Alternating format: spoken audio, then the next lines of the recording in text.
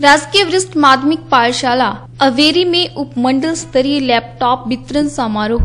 का आयोजन किया गया। इस कार्यक्रम में मुख्य अतिथि के रूप में विधायक मुल्क राज प्रेमी ने शिरकत की तथा विभिन्न स्कूलों से आए मेधावी दसवीं व जमा दो के बच्चों को लैपटॉप वितरित किए गए।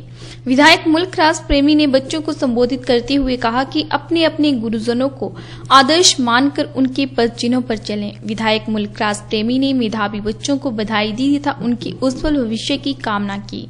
उन्होंने सरकारी स्कूलों में बच्चों की संख्या की कमी आने के लिए चिंता व्यक्त की। उन्होंने कहा कि सरकारी स्कूलों में पढ़ाई करनी चाहिए। विधायक ने सरकार द्वारा शिक्षा विभाग में चलाई जा रही योजनाओं के बारे में बच्चों को लाभ लेने के लिए भी प्रेरित किया। इससे पूर्व प्रधानाचार्य सुमन जसवाल ने मुख्य अतिथि को स्मृति चिन्ह देकर सम्मानित किया। इस अवसर पर मंडल अध्यक्ष करण जम्बाल अजय राजपूत, आशुतोष छावड़ा, अश्विनी, अंजू कुटोच विभिन्न स्कूलों से आए प्रधानाचार्य और मुख्य अध्यापक तथा अन्य गणमान्य लोग उपस्थित रहे।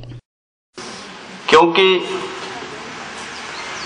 इन्होंने जो कड़ी मेहनत के साथ आज लैपटॉप को हासिल कर रहे हैं, इनको गुरुजनों का भी इसमें विशेष योगदान है, उनको भी मैं बधाई देता हूँ।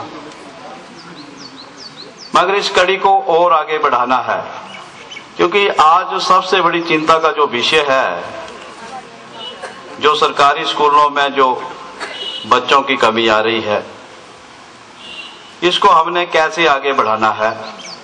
सरकार इसके प्रति गंभीर है